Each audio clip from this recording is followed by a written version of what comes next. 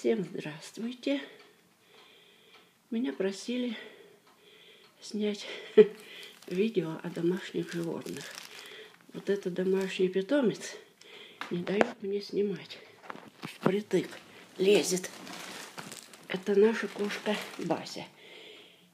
Появилась она у нас, это здесь у меня машинка швейная стоит. Появилась она у нас в седьмом году, 2007 сын нам ее отдал, потому что работает с утра до вечера, кошка одна. Вот. И должным, на должном уровне он ее, конечно, не мог там обеспечить уходом. Вот. Но пришлось нам ее забрать. Вот так она у нас появилась. Бася была дикая, сидела первое время под ванной, потом на второй день от ситки под ванной стала меня за пятку догонять. Цап лапой за пятку. Ну и постепенно так привыкла. Она квартирная, на улицу не ходила, конечно, в квартире, а сейчас, хотя у нее есть лоток, но она уже туда редко-редко ходит, а ходит на улицу вместе с котом. Так, так что этой кошечке уже средне, средних лет она у нас. Ну, что еще про нее рассказать? Она у нас, мы ее как взяли, стерилизовали. Вот, потому что не дело тут в своем доме котом немерено к ней приходила.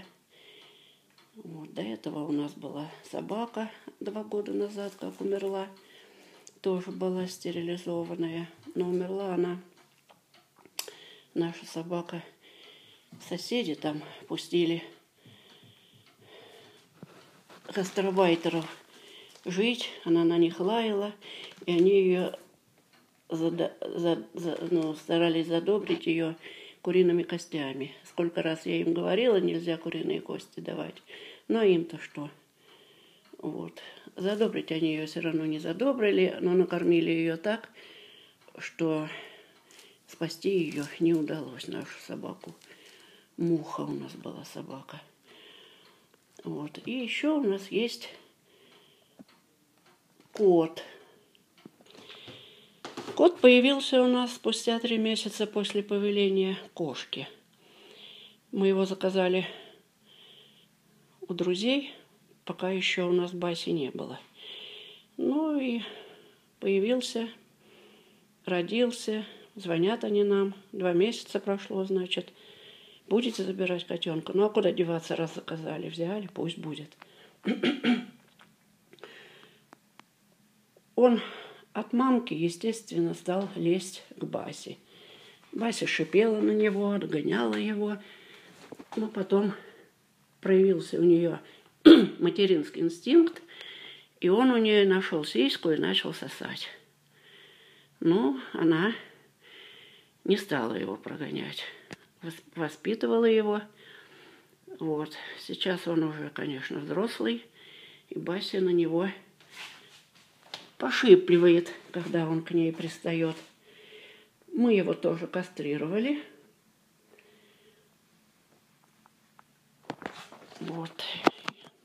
Тоже он у нас среднего возраста, с седьмого или с восьмого года, с седьмого года тоже. Вот. И порода у него не чистый бобтейл, наверное.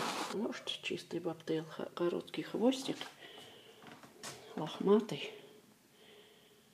Вот такой породистый котик у нас.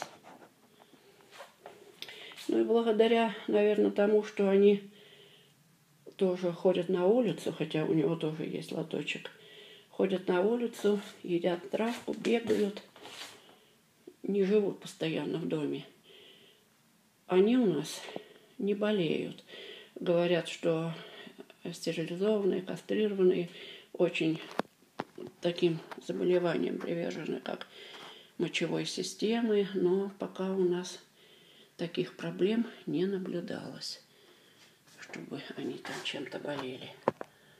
Два раза в год, весной и осенью, мы их от глистов протравливаем,